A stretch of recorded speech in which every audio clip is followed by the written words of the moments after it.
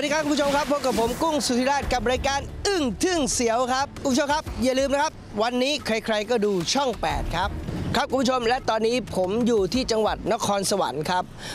ผมจะพาไปพบกับผู้ชายคนหนึ่งครับ ซึ่งเขามักจะย้ายถิ่นฐานไปบ่อยครับ ไปหลายหลายจังหวัดทั่วประเทศไทยครับ แต่มีสิ่งหนึ่งนะครับที่เขาจะต้องนำติดตัวไปด้วยตลอดเวลาครับ และของสิ่งนั้นนะครับเรียกได้ว่ามีเป็นหมื่นหมื่นๆชิ้นครับ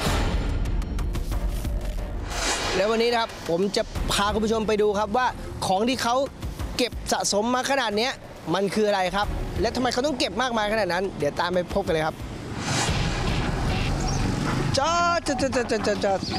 สวัสดีครับผมครับ และตอนนี้เราอยู่กับพี่ประเสริฐแล้วล่ะครับ พี่ประเสริฐครับผม เห็นแต่งตัวอย่างนี้นี่ ทำงานอะไรครับเนี่ย ผมทำงานป้องกันภัยครับ ผมเกี่ยวกับการกู้ภัยดับไฟอะไรพวกนี้ครับ อ๋อ เกี่ยวกับการป้องกันภัย ดับไฟผจญเพลิง ครับผม อย่าบอกนะว่าของที่ต้องติดตัวไว้ของที่เก็บไว้เนี่ยก็คือ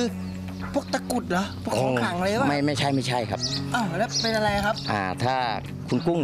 อยากทราบ ครับ เดี๋ยวผมจะพาไปดูครับพาไปดูเลยครับได้ครับได้ไปครัดูบกันเลยครับ นี่เลยครับอยู่นี่เหรอครับเก็ไว้ครับแล้วอะไรไปดูพี่นะครับ เฮ้ย นี่เลยครับ นี่มันลอตเตอรี่เนี่ยพี่ ใช่ครับผม โอ้โห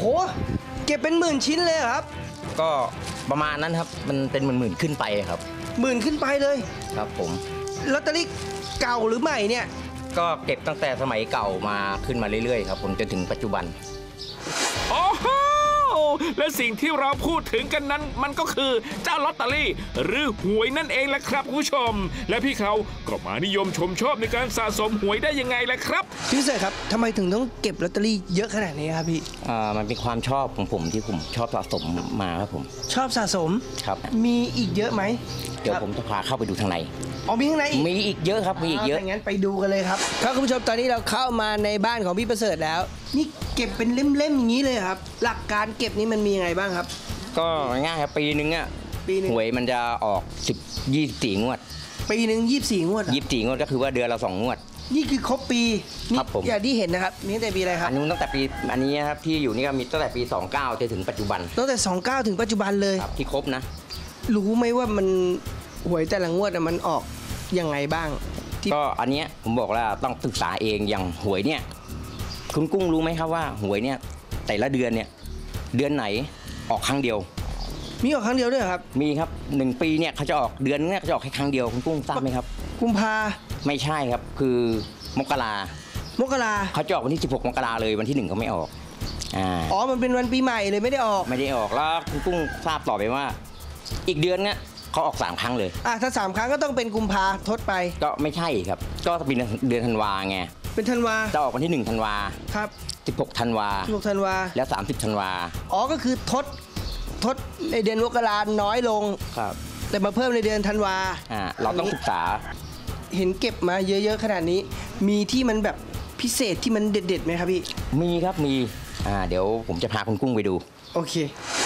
ว้าวว้าวว้าวต้องบอกเลยครับว่าพี่ประเสริฐไม่ได้ชื่นชอบในการสะสมอย่างเดียวนะครับคุณผู้ชม แต่พี่เขายังมีความรู้แน่นปึกอีกด้วยแหละครับ และเดี๋ยวเราไปดูกับลอตเตอรี่ของพี่ประเสริฐ เขาบอกว่ามันเป็นแหล่ไอเทมของพี่เขาเลยก็ว่าได้ เราไปดูกันว่าสิ่งนั้นจะสำคัญขนาดไหนกัน อันนี้ก็คือ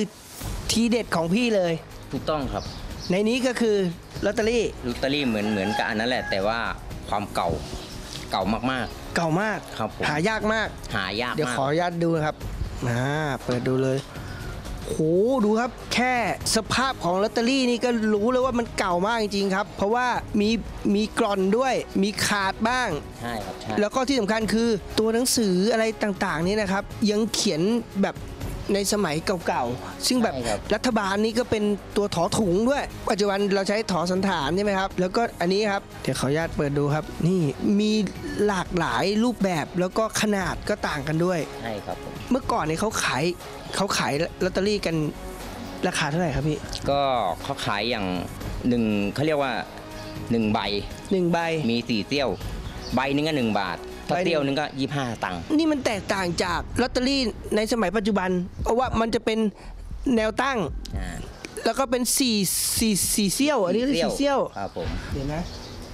26 มีนา ออกวันที่ 26 ด้วย ครับผม 26 มีนา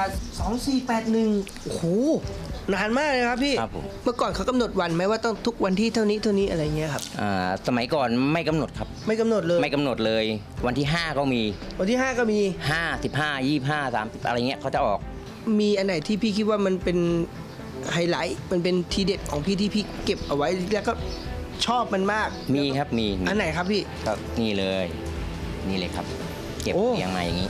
ใบนี้คือเก่าแก่สุด ครับ ผมเก่าสุดปีไหนเนี่ย 2479 2479 ถ้านับถึงนี่ก็ 83 ปี